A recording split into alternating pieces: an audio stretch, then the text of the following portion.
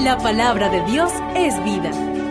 Ilumina nuestro corazón y alimenta el alma. Radio Natividad presenta el Evangelio de hoy.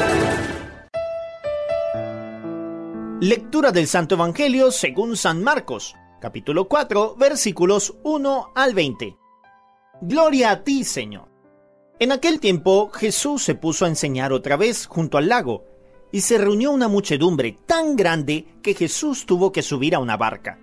Ahí se sentó, mientras la gente estaba en tierra, junto a la orilla. Les estuvo enseñando muchas cosas con parábolas y les decía, Escuchen, salió el sembrador a sembrar. Cuando iba sembrando, unos granos cayeron en la vereda. Vinieron los pájaros y se los comieron. Otros cayeron en terreno pedregoso, donde apenas había tierra como la tierra no era profunda, las plantas brotaron enseguida, pero cuando salió el sol se quemaron, y por falta de raíz se secaron. Otros granos cayeron entre espinas, las espinas crecieron, ahogaron las plantas y no las dejaron madurar. Finalmente, los otros granos cayeron en tierra buena. Las plantas fueron brotando y creciendo y produjeron el 30, el 70 o el ciento por uno.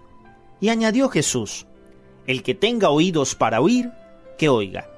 Cuando se quedaron solos, sus acompañantes y los doce le preguntaron, ¿qué quería decir la parábola? Entonces Jesús les dijo, A ustedes se les ha confiado el secreto del reino de Dios. En cambio a los que están fuera, todo les queda oscuro. Así por más que miren, no verán, por más que oigan, no entenderán, a menos que se arrepientan y sean perdonados. Y les dijo también, si no entienden esta parábola, ¿cómo van a comprender todas las demás? El sembrador siembra la palabra. Los granos de la vereda son aquellos en quienes se siembra la palabra, pero cuando la acaban de escuchar viene Satanás y se lleva la palabra sembrada en ellos. Los que reciben la semilla en terreno pedregoso son los que, al escuchar la palabra, de momento la reciben con alegría, pero no tienen raíces, son inconstantes, y en cuanto surge un problema o una contrariedad por causa de la palabra, se dan por vencidos. Los que reciben la semilla entre espinas son los que escuchan la palabra, pero por las preocupaciones de esta vida, la seducción de las riquezas y el deseo de todo lo demás que los invade, ahogan la palabra y la hacen estéril. Por fin, los que reciben la semilla en tierra buena son aquellos que escuchan la palabra, la aceptan y dan una cosecha unos de 30, otros de 70 y otros de ciento por uno. Palabra del Señor. Gloria a ti, Señor Jesús.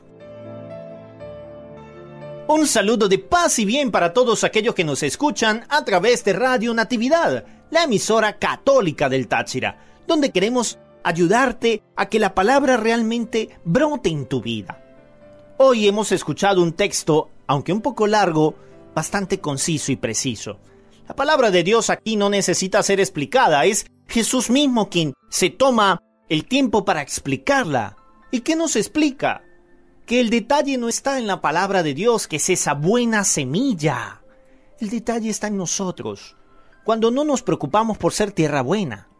La palabra de Dios corre el riesgo de entrar en un corazón lleno de espinas, pedregoso, superficial como el suelo, sin tierra buena.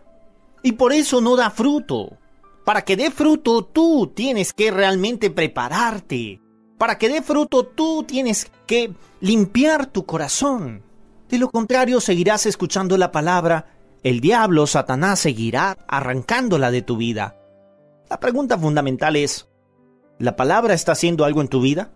Si dices que no, es entonces porque tú no te has preparado para recibirla.